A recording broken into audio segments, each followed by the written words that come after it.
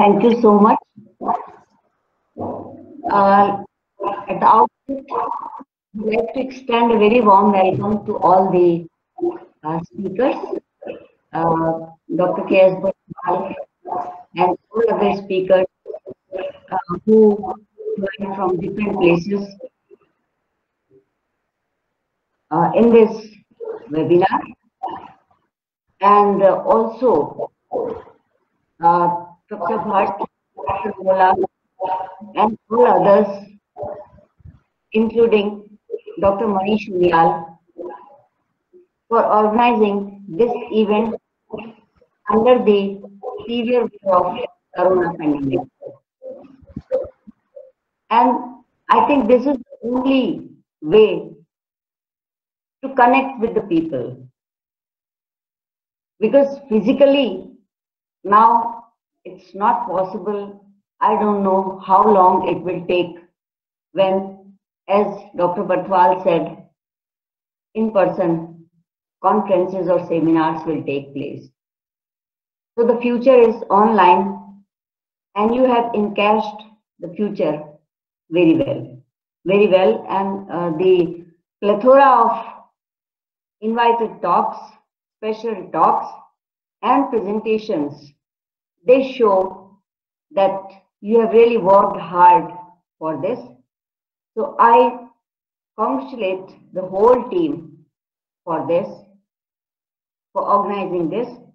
But taking a hint or leaf from Dr. Barthwal's feedback, I feel that students should be given more time because it is their time. And therefore, if you can just reduce the number of participants, that will help. It's not necessary for you to invite 100 people because you are not running a race.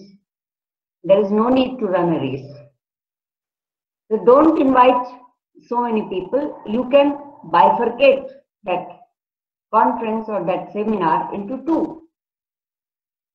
Because it is also necessary to hear what the students have to say and they need to be given time because they are our future. And the future decides what to do. Yes. Okay. Yes, As I said that uh, I lost my connection, and this is also one of the disadvantages of being very smart or getting connected through internet. Internet, it can sometimes be, it is always a boon, but sometimes it becomes a curse when in between you are out of a meeting or a conference or a seminar. So, uh, my uh, only suggestion is that please, as Dr. Barthwal said, please bifurcate the uh, event. You can uh, you can easily organize two seminars and give students much time.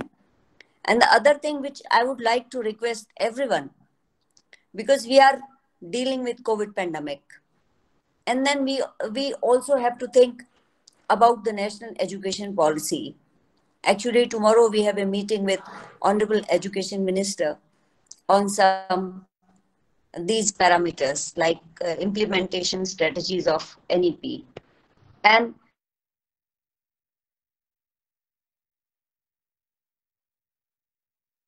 social science with STEM. M. So we have to we have to devise ways and means to integrate these subjects together. And on the other hand, we also need to devise ways and means to make science more beneficial for humankind. Because we, we do science, we publish lots of papers, and most of the papers are in, in fact, uh, impact factor journals, highly rated. But only those people read those articles who have interest in that discipline. So I think now this is high time when we have to think about interdisciplinary research. And we have to think about multidisciplinary research and also how to give benefit of science to humankind.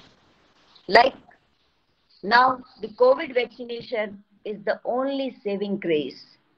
If our population is quickly vaccinated, then I think we'll be able to defeat coronavirus.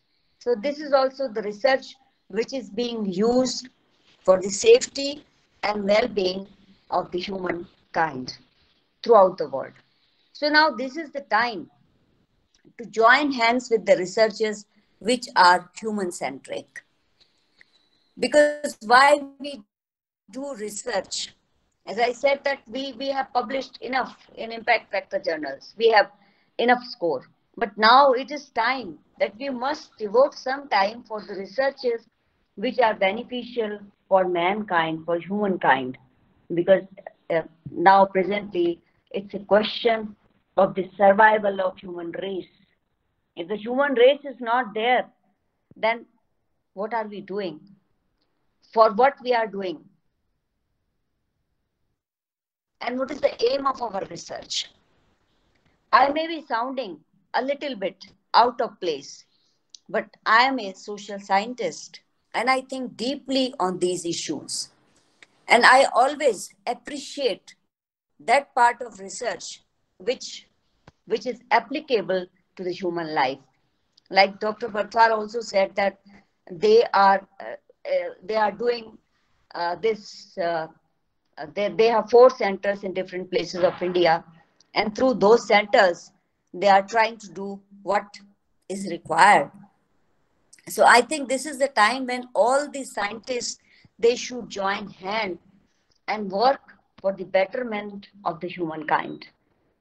Because as I said, this is the biggest threat for us, for everyone, for everyone that how to safeguard the human life, how to stay safe and healthy. This is the primary question. So this primary question is addressed to the science only. And then when there are researches, when there are innovations, these innovations will go into programs. It will benefit the whole human race. So this is only, only, only a kind of expectation which uh, I do not know whether I should expect from our scientist fraternity, but I thought that this is the this is the call of the time, and we cannot neglect it. We have to have dialogue about this also and also how to make science practical because when we talk about nep it clearly says that the research should be for human welfare so now it is the high time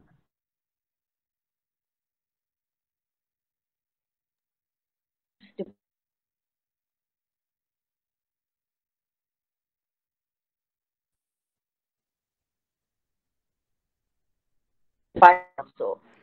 So these are all learned through aerosol. So last year they, they, they published some papers on learning experiences because now this, this has been proved that this coronavirus is in the air.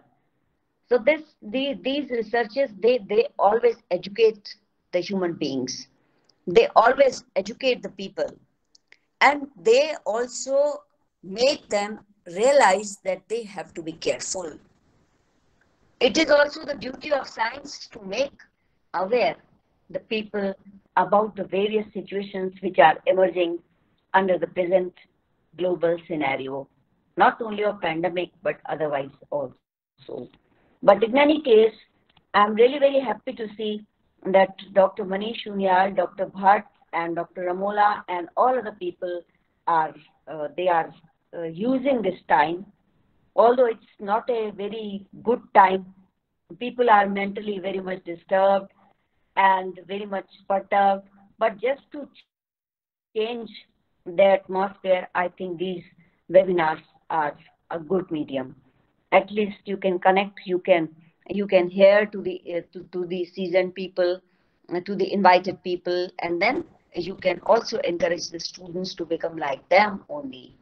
So it's a, a great, I think, great contribution of the Department of Physics that during this pandemic also uh, they could connect I think uh, too many people, too many, uh, too many researchers, too many scholars, and this credit goes to the Department of Physics. And uh, and I think that uh, this uh, this benefit should should also go to the society. So whenever there is any plan to publish, kindly add this input also, which I have said that please do research, but with a human face actually we we require these kinds of researches now more than often. So uh, research is important but human angle should never be next should always be there. So with these words i would again like to thank dr manish uniyal dr bhatt dr ramola and dr barthwal and all others uh, like dr gunjan purohit and I don't know many many names, but uh, it's a very impressive uh, panel actually, panel of speakers, uh, panel of uh, invited speakers, and panel of experts. Uh, so I wish everyone uh, very well that they all of them they stay safe and healthy. My all best wishes and and my regards to everyone for making this workshop, seminar, webinar very successful. So my best wishes to everyone and please take very, very good care of yourself and don't neglect your health at any, any cost. So thank you so much for inviting me for this program.